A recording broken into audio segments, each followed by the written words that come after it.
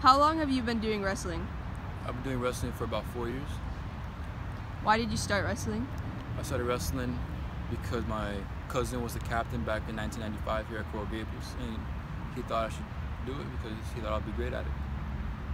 What is your favorite part about wrestling? My favorite part is the moment that you win, and just the greatest feeling in the world. How do you balance school and athletics? Well, that's a hard one because wrestling consumes most of your time.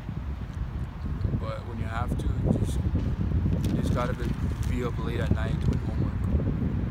Sometimes all night, since you're cutting weight. Almost of the day, most of the evening.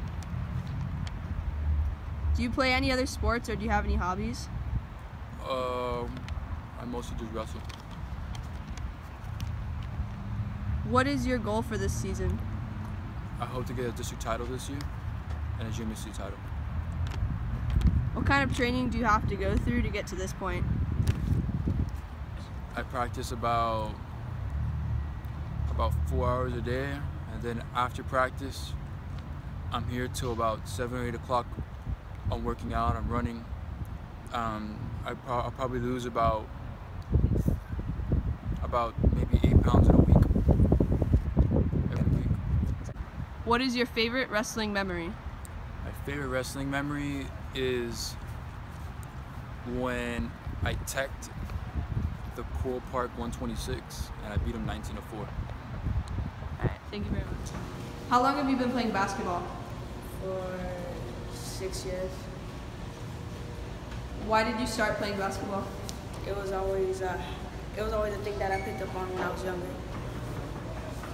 What is your favorite part about being on the Coral Gables team? Being able to play with family and having that bond and being able to work as one. How do you balance school and athletics?